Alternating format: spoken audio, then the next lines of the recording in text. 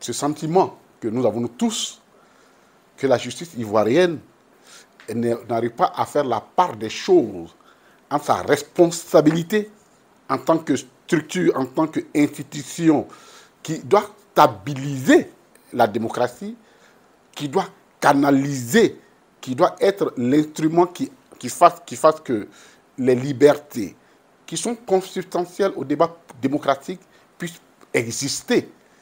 Au point où les gens l'appellent les gourdins. On a utilisé ça comme un gourdin. C'est-à-dire un gourdin, euh, le gourdin, ça veut dire que c'est un instrument que quelqu'un utilise. Et donc, cette image-là n'est pas bien. Et malheureusement, je suis désolé de leur dire, la justice ivoirienne, moi personnellement, et je ne crois pas être le seul, inquiète beaucoup de personnes. Parce que si elle n'inquiétait pas, une convocation d'un juge, tous les jours on en reçoit. Mais c'est parce qu'elle elle perd de plus en plus de crédibilité dans sa chose et que nous pensons en toute honnêteté qu'on ne va pas jeter la responsabilité de toutes les crises sur les hommes politiques seulement. Nous estimons que si la justice montrait assez impartiale, assez neutre et qu'elle voulait se lever au-dessus des débats politiques, il y a longtemps, il y a longtemps, la Côte d'Ivoire serait réconciliée et serait en paix.